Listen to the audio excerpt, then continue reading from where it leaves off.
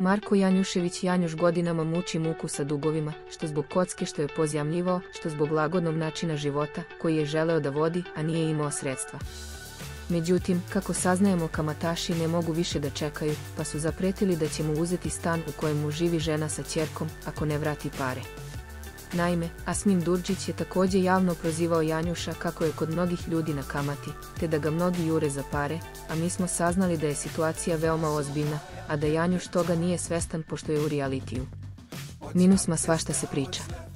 Ne mogu da kažem da nije na kamati kad jeste, ali svakako ne verujem da će mu oduzeti stan, ne bi on to dozvolio.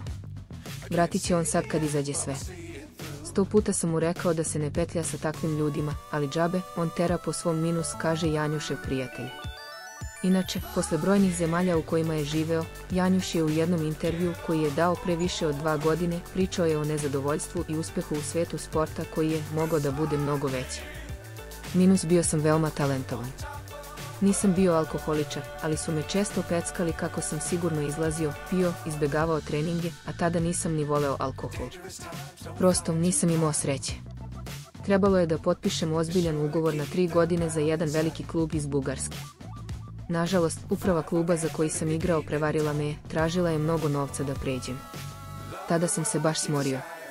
Razočarao sam se potonuo posle su dolazili novi ugovori koji nisu bili loši, ali od njih nije mogla da se planira neka budućnost minus, pričao je Janjuš, koji je uporedo sa košarkom i ženama zavoleo i jedan porok minus kocku. Minus sećam se, sedeo sam s društvom, a pored kafića je bio sto za rulet. Da bog da se zapalili svi. Drugari su me pozvali da ih gledam, ali ja sam se ubacio u igru i dobio 800 evra. I tako mi se osladilo. Pričaju da sam mnogo para potrošio, ali ljudi bi trebalo da znaju da nikad nisam izgubio imovinu, stan, kuću. Gubio sam novac koji sam imao u tom trenutku, ali nikad više od 4.000 evra za veče. Nisam ja milioner ili milijarder, pa da mogu da gubim neke astronomske cifre.